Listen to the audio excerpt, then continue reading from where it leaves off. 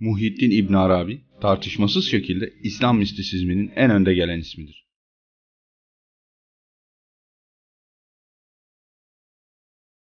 Bazıları ünlü kahin Nostradamus'un bile onun kehanetlerini kullandığını söyler.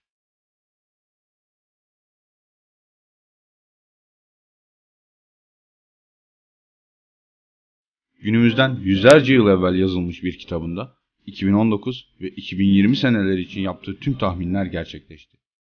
Peki ya 2021 senesi için neler söyledi?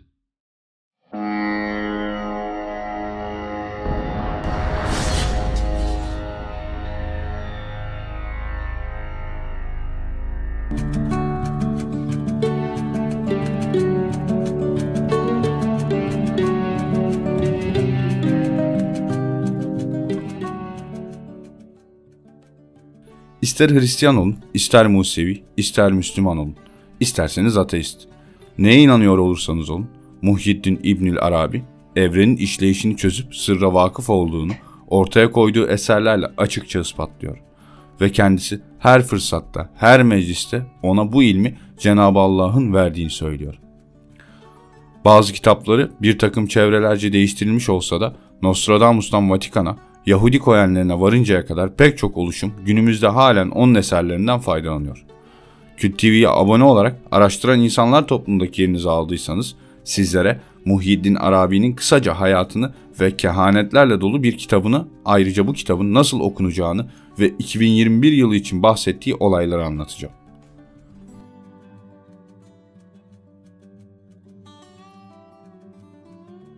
Öncelikle hakkında hiçbir fikri olmayanlar için kısaca Arabi'nin kim olduğunu anlatmak istiyorum. 28 Temmuz 1165 tarihinde İspanya Endülüs'ün güneydoğusundaki Tüdmir bölgesinin baş şehri olan Mürsiye'de doğdu. Bilinmeyen bir sebeple 8 yaşındayken ailesiyle birlikte İşbiliye'ye geldi. Ailesi Arap Tay kabilesine mensuptu.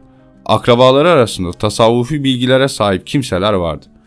İsminin sonunda yer alan El Hatimi Et Tai, onun cömertliği ve hayırseverliğiyle ün kazanmış olan Tai kabilesine mensup Adi Hatim Et Tai'nin kardeşi Abdullah bin Hatim'in soyundan geldiğini göstermektedir. Arabi'ye göre gerçek bilginin sadece aklımızdan vücuda gelmediğine, böyle bir bilginin daha çok tasavvuf yoluyla elde edebileceğine inanıyordu. Daha sonra Sufizmi benimsedi ve hayatının manevi yola adadı. İbnül Arabi kendisine manevi annemin ve dünyevi annenin ışığıyım diyen Kordovalı Fatma adında 95 yaşından büyük bir kadına hizmet etti. Takvası ve tevekkülü ile bilinen bu kadın kendisi üzerinde de oldukça büyük bir etki bırakmıştı. Arabi ilk defa 36 yaşında İspanya'dan ayrıldı ve 1193'te Tunus'a geldi. Tunus'ta bir yıl geçirdikten sonra 1194'te Endülüs'e döndü. Babası İbnül Arabi'nin Sevilla'ya gelmesinden kısa bir süre sonra vefat etti. Annesi de birkaç ay sonra vefat edince İspanya'yı ikinci kez terk etti ve iki kız kardeşiyle 1195'te Fas'ın Fes kentine gitti. 1198'de İspanya'nın Cordoba şehrine döndü ve son kez 1200'de İspanya'yı Cebeli Tarık geçerek tamamen terk etti. Mağrip'teki bazı yerleri ziyaret ederek 1201'de Tunus'tan ayrıldı ve 1202'de hacca gitti. 3 yıl Mekke'de yaşadı ve orada El Fatihül Mekkiye adlı eserini yazmaya başladı. Mekke'de vakit geçirdikten sonra Suriye, Filistin, Irak ve Anadolu'ya seyahat etti. 1204 senesinde Arabi, Selçuklu döneminde büyük tanınmış bir şeyh olan Mecdüddin İshak ile buluştu. İbnül Arabi bu kez kuzeye yöneldi. Önce Medine'yi ziyaret ettiler ve 1205'te Bağdat'a gittiler. Bu ziyaret ona Şeyh Abdülkadir Geylani'nin doğrudan öğrencileriyle tanışma fırsatı sundu. Arabi, alim Ali bin Abdullah bin Camii'yi görmek için Musul'u ziyaret etmek istediği için sadece 12 gün orada kaldı. Arabi, metafizik, astronomi ve astroloji konusunda kendisini çok geliştirmişti. Padişahlar ve önde gelen devlet adamları ona mektuplarla devlet işleri hakkında sorular sordukları örneğin falanca ülkeyle savaşa girersek kazanabilir miyiz? Yahut hangi şehzade tahta çıkarsa daha hayırlı olur gibi soruların cevaplarını ondan istedikleri, o da gökyüzü hareketlerine göre bu sorulara cevap verdiği ve verdiği cevapların isabetli olduğu bilinmektedir. Dönemin İngiliz kralının bu özelliklerinden dolayı kendisini kaçırtmak üzere bir ekip kurduğu ancak Arabi'yi bulamadıkları için bu eylemi gerçekleştiremediği de yakın bir tarihte Buckingham Sarayı arşivlerinde keşfedilen bazı tarihi belgelerle gün yüzüne çıktı. Arabi ayrıca büyüye maruz kalmış insanların büyülerini bozuyor, Musallata uğrayanların musallatını kaldırıyor ve anne karnındaki çocukların cinsiyetini kesin bir netlikle çocuklar doğmadan söylüyordu. Yaşamının son dönemlerinde Arabi Suriye'nin Şam bölgesine yerleşmişti. Buranın halkı o dönemler paraya çok düşkün riyakar kimselerdi. Bir gün şehir meydanında halka gazaplanıp sizin taptıklarınız benim ayaklarımın altında diyor. Ve üç kere yere ayağını vuruyor. Halk yanlış anlıyor. Allah'ı haşa ayaklar altına aldığını düşünüp idamına karar veriliyor. Şimdi buraya çok dikkat edin. Muhyiddin İbn Arabi orada şu sözü söylüyor. Sinşin'a girince Min'in kabri ortaya çıkar diyor. Çünkü halk idam edip kabri saklıyor. Üstünü de çöplerle kapatıyor. İbn Arabi'nin ölümünün üzerinden 277 yıl geçer. Yavuz Sultan Selim rüyasında İbn Arabi'nin onu çağırdığını görüyor. Hocasından fetvayı alıyor ve Sivas'tan 60 bin kişilik ordusunu da alıp Sina çölüne doğru çıkıyor. Rüyasında Arabi ona çöl hakkında bilgiler veriyor.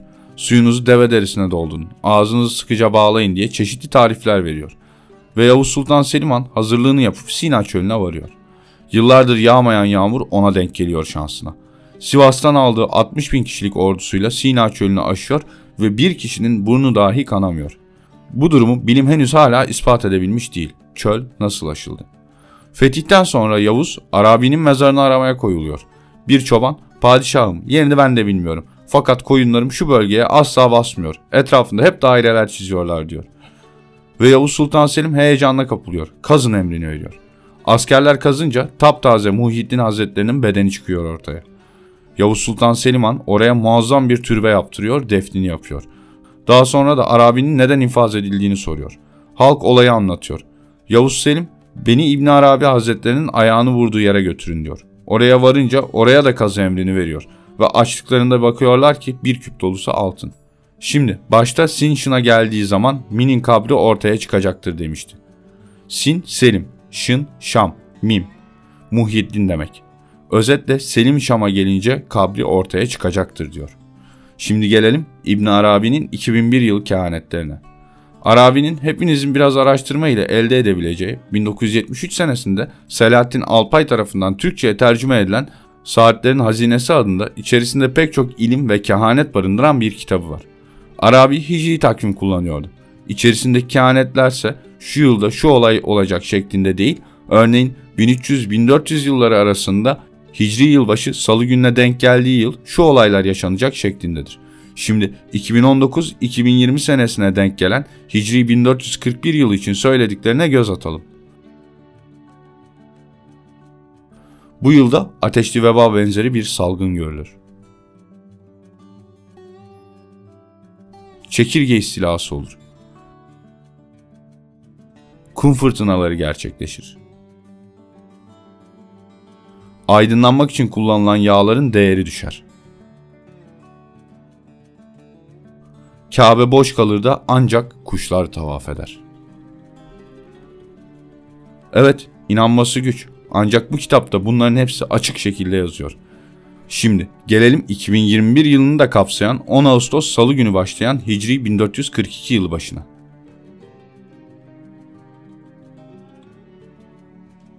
Ateşli veba iyice artar. İnsanlar evinden çıkmaya korkar. Burada günümüzde yaşanan pandeminin anlatıldığı aşikardır.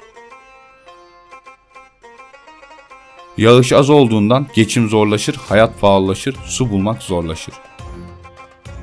Bildiğiniz üzere şu anda İstanbul başta olmak üzere tüm dünyada kuraklık tartışılıyor. Ve oluşan devalüasyon herkesin malumu. Burada da İbn Arabi kesin bir tahmin yapmış.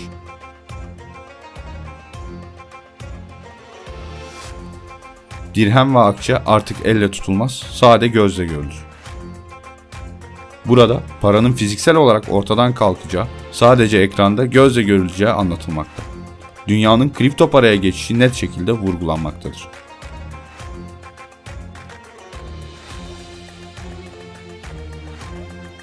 Zelzeleler çok sıklaşır. Rum'da iç karmaşalar çok olur köleleşen halk ayaklanır. Burada Rum kelimesinden kasıt Yunanistan değil tüm Avrupa'dır. Şu anda Avrupa'nın nasıl bir cadı kazanı olduğunu hepiniz biliyorsunuz.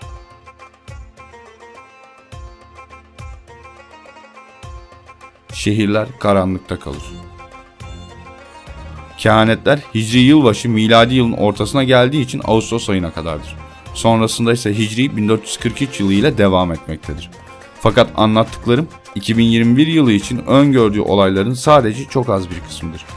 Diğer kehanetleri YouTube yayın politikasına aykırı olabileceği için birkaç gün sonra Instagram hesabım üzerinden paylaşacağım. Instagram'dan arkadaşım olarak haberdar olabilirsiniz.